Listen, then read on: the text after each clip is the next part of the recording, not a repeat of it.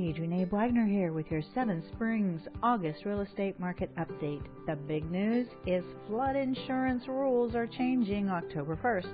Come see what's up.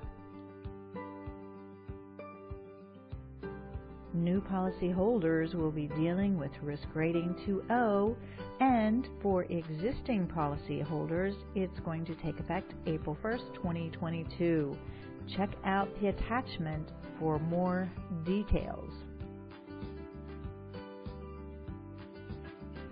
August is the only month in 2021 that has posted less than 10 sales.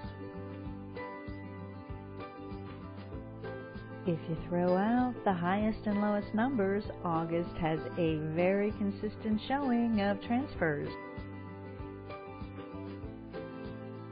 Heads up, Berkshire Hathaway Home Services has a free, new, and improved real estate app to show you what's on the market. Check it out. This slide is new and shows you what I've been trying to tell you. Listing inventory is at an all-time low. Last year, Seven Springs had seen only 35 transfers through August. This year, 96. Each of the 4 and 500,000 blocks for Seven Springs have seen 16 transfers through August.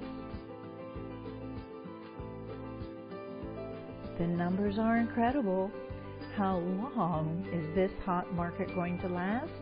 Catch up with me and I'll share some thoughts. Thanks so much for viewing. Please feel free to share and hope you'll stop back next month. Stay well.